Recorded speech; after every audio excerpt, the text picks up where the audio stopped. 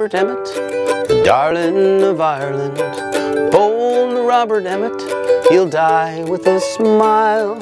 Farewell, companions, both loyal and daring. I lay down my life for the Emerald Isle. That's a little song about bold Robert Emmet, and uh, Robert Emmet is the namesake of Emmet County, and I'm Jim Gillespie, and with me is Ed Karmonn, and we're here at the uh, uh, Emmet Celtic Shop in downtown Petoskey, and we represent the Robert Emmet Society, um, and we are going to give you a bit of history about why Emmet County got named Emmet County as part of the Blast from the Past series um, for uh, Emmet County. Um, as I say, uh, the, the, county got named Emmet after being initially named Tonedagana uh, back in 1840 when Henry Schoolcraft was going around the state uh, naming counties after Native American names. But in 1843 there was this uh, uh, movement and it was called the Great Renaming where many counties' uh, names got changed. And uh, Tonedagana County got changed uh, through the efforts of uh, some gentlemen on Mackinac Island, uh, the O'Malley brothers. One was a state or a territory senator, and one was the local sheriff. And they wanted to honor the uh, Irish uh, immigrants who had come to Michigan to help build the railroads and help with the maritime activity and the logging. And so they introduced a, a bill that got Tonedagana changed to Emmet County in uh, 1843. Along with several other counties, uh, they were able to name for uh, counties in Ireland, Antrim County, um, Roscommon, Wexford, and Clare all got named at the same time. So um, it's kind of an interesting uh, sidebar to the fact that uh, Michigan uh, was part of the immigration movement back in the 1800s, and the significance of that is honored uh, today uh, by, by having the name Emmet County as being one of the counties in Michigan. So that's a little, little history about why Emmet County got named Emmet. My name is Ed Karmonn. Uh, I am the owner of County Emmet Celtic Shop here in Petoskey, the cor corner of Petoskey and Lake. Uh, we've been here since the fall of 2010. Uh, the shop offers um, Celtic merchandise, although it's primarily Irish, um, food, clothing, art, jewelry. Um, I have a retail background. I've always had an interest in Irish history. I have some family in Ireland, so it all kind of came to get came together uh, when I started the shop. The um, shop is involved with the Robert Emmet Society here in Petoskey. We're a group of primarily local residents. I am currently on the board, as is Jim Gillespie. Jim is our treasurer. Um, we raise funds to send a student to Ireland for a semester of study every year. Uh, the Robert Emmet Society was uh, uh, founded in 1990. Its original aim was to bring a statue of Emmet to uh, Emmet County in Petoskey. There are currently uh, four statues in the world. Um, California at Golden Gate Golden Gate Park in San Francisco, Emmetsburg, Iowa, Washington, D.C., and Dublin, Ireland in St. Stephen's Green. And the Society's original aim was to uh, have a fifth statue here. Uh, by the early 90s, for several reasons, that, uh, that idea didn't gain any traction. And uh, there were a small group of individuals in the Society at that point that wanted to take the, keep the Society alive and uh, move it in a, a, different direction. And what they came up with was the scholarship. Um, since 95, uh, the Robert Emmet Society has offered a scholarship through North Central Michigan College and the Galway Mayo Institute in Ireland, where we send a student, uh, it's an essay and interview competition. The winner goes to Ireland for a semester of study at GMIT uh, every year. Uh, we've been offering the scholarship for 18 years, and our current scholar number 14 is still in Ireland. She's a local resident, uh, Jess LaBrush. The, uh, the Robert Emmet Society, um, we have uh, several fundraisers throughout the year to, to fund the, the scholarship to send a student to Ireland. Uh, our main fundraiser we call the Hoolie, and it's usually uh, a day or two before uh, St. Patrick's Day this year. It's March 16th. It's in the H.O. Rose Room at the Perry Hotel. Um, we have a silent auction, dinners available, Uh, we have musical acts. Jim and the, Jim Gillespie and the Hooligans, uh, as part of Blissfest, will be there.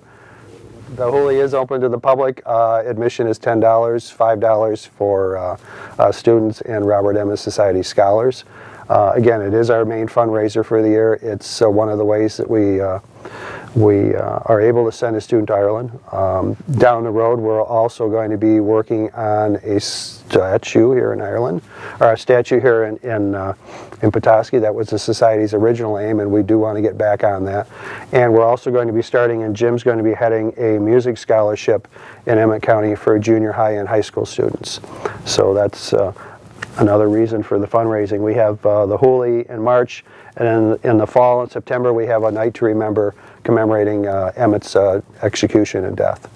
You might be um, interested in knowing a hoolie is, is an Irish term for, for basically a gathering, a party, usually with uh, a fair amount of lively music, stories, and food, and probably a little drink involved too, and dancing. So Yeah. a hoolie is basically an Irish kitchen party.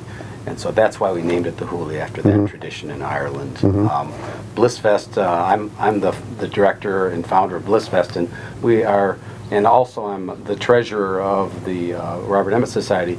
And it's, it's been a, you know, we're kindred spirits since the Irish are so fond of music and poetry, and Blissfest is uh, the roots music connection in Emmet County. So it was a pretty easy match for me to get involved in the Robert Emmet Society, and I'm always happy to provide uh, our organization and myself personally provide uh, Irish music for, for these events.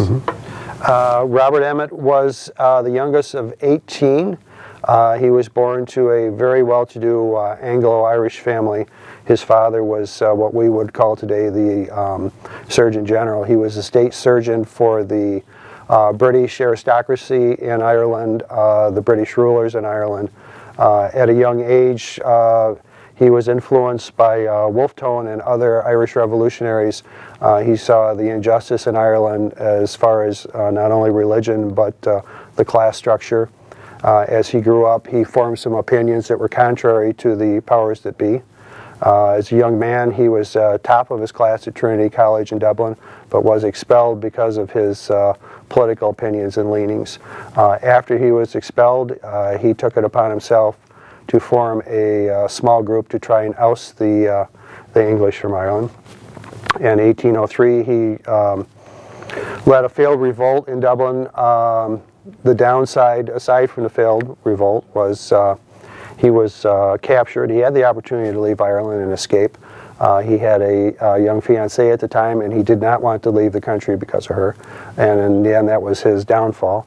Uh, he was captured, tried, uh, found guilty, uh, executed on uh, Thomas Street in downtown Dublin. It's uh, in front of a church. The church is still there today. Uh, after he was uh, hung, unfortunately, to put too fine of a point on it, the English beheaded him, uh, put his head on a pike, and paraded it around town. One of the things that Emmet was known for is he um, described himself, he wanted to be the George Washington of Ireland. He, uh, he admired Washington and uh, how he had uh, helped to free uh, um, the states from the British rule, and he wanted to be known as doing the same thing in Ireland. Uh, one of my previous trips to Ireland, um, we were in, a, in what is called the, the Trad District, which is where the traditional music is played primarily. Um, there was a museum that we wanted to see, and it wasn't open yet, so we stopped into this, uh, this it was a pub that was in a restored church. And uh, while we were in the pub, um, talking to the, one of the, the barmen behind the counter, uh, he mentioned that there was a, a cemetery next door, which all the stones had been removed and had been made into a park. And, you know, in conversation, where are you from? Petoskey, Emmet County, and he said, well, you know, Lord Norbury, the, the uh, judge that sentenced Emmet to death, is buried in you know, what was the cemetery next door, and now it's a park. I said, I didn't know that. And he said, to this day, the Irish will go into that park. They don't know where he's buried because all the tombstones are gone. But they will symbolically spit because of their, disdain for Lord Norbury and what he did to Robert Emmet. Emmet is that revered, as Jim said, to this day in Ireland. So all the immigrants who came over, you know, uh, had that name, and, and I think, you know, the, the O'Malleys who started this, uh, you know, changed the names of some counties, you know, they selected that name. That was the only individual that they selected. So obviously he was highly revered, uh, you know, with the immigrants and, and you know, uh, everybody, even nowadays, if you go to Ireland, everybody knows who Robert Emmet is. I mean, he's definitely a fixture in their history. You know, they get taught it early. Yes, they do. Yeah. This is the song called Bold Robert Emmet by Thomas Moore in honor of Robert Emmet, who was a contemporary of Thomas Moore in Ireland. Bold Robert Emmet, the darling of Ireland. Bold Robert Emmet, he'll die with a smile. Farewell, companions, both loyal and daring. I lay down my life for the Emerald Isle. Now the struggle is over, the boys are defeated. Old Ireland surrounded by sadness and gloom. We were defeated and shamefully treated, and I, Robert Emmet, awaiting my doom. Bold Robert Emmet, the darling of Ireland. Bold Robert Emmet, he'll die with a smile. Farewell, companions, both loyal and daring. I lay down my life for the Emerald Isle.